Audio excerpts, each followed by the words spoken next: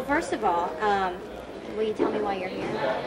Well, I'm, I'm here really out of friendship uh, that's developed between Johnny Morris of Bass Pro and his wife Jeannie, um, who've become friends to my, my wife and myself and my friends. And, and, you know, in the name of this movie where Bass Pro is pretty prominent, um, you know, John has some organizations that are important to him. Uh, it's breast cancer and, you know, his, his ecological stance on things. And, and so there's no better use of a movie uh, than to be able to kind of raise money for charity, and that's why I'm here. Now, um, in Swing Vote, you wear the hat quite a bit, right? Yeah. Like every scene, or I mean, because I just saw. Quite a bit. It's just it's just a part of his it's part of his uniform. He um, you know it's pretty beat up, and I, I halfway through I realized it was becoming really important, and I just finally called John. I said, "You better come down here and um, look at how this is working and moving." He couldn't quite believe it, you know, and. Uh, it was just really a part of the character. It really wasn't. Uh, this wasn't over money. It wasn't over anything.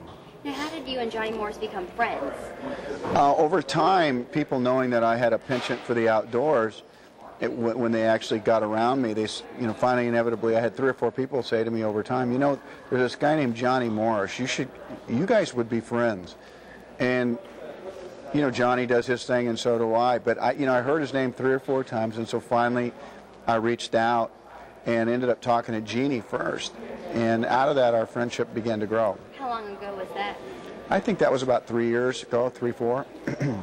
So, um, if you like, so how, how many times have you gone to a Bass Pro? I mean, is there is there one near your house? No, I when I was down in Louisiana making Mr. Brooks and The Guardian, I was in the Shreveport one all the time, and you know this is like my perfect. This is like my favorite store. You know. What do you like about it? The fishing aspect, or No, I, I just like the ambience of it. It's uh, it's a place where you can hang and eat. I love the black and white pictures on the wall. I mean, the truth is Johnny gets it. You know, he gets it about what the outdoors is. He has a love of it. He's a he doesn't abuse it. He protects it. He believes in it. He understands how it can work in our lives. And Bass Pro just is like there's not a there's not a department that you walk into that you don't feel like you want to get something. Whether you know you walk into the women's department and you want to get something for your wife or your sweetheart, and and suddenly you're getting stuff for your children. It's all camouflage and hell, it's just a good idea, right? Well, I like this one because it's so big and you can see, you know, all the Yeah. all the fish and stuff. So Yeah. that's my favorite thing.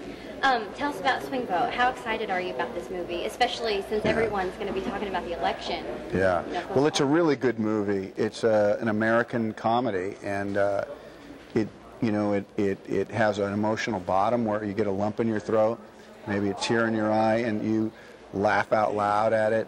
It takes you through the emotional journey that you really want a movie to take you. You know, so I'm proud of it that way. I think it's a movie that will last.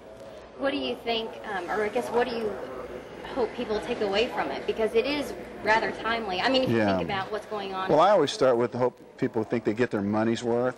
You know, you start with that. You hope that they do take that emotional journey I just described. That's what movies can do. And the biggest thing is I hope they share it once they see it, that they feel good enough about it to go, this is a movie you should see. This is a movie I want to show my son, my daughter, my sweetheart. This is a movie I want to show my granddaughter. And this is a movie you're willing to share 5, 10, 20 years later. do you think you have anything in common with Bud? I mean, obviously, uh, the love for that. Well, he's a rascal, so am I. Uh, he'd rather fish than do anything, so would I. Um, uh, I'm not a real drinker like he is. Um, Bud's a drinker.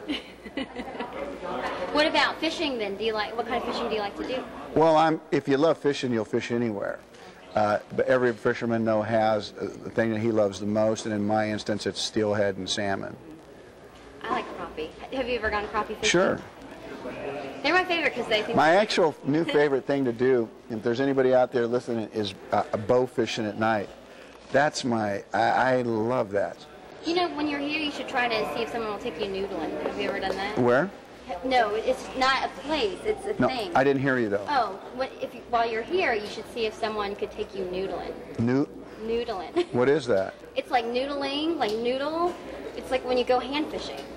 Oh, you mean reaching up under the bank? Uh-huh. Yeah, I'd do that in a second. Really? Hell yes.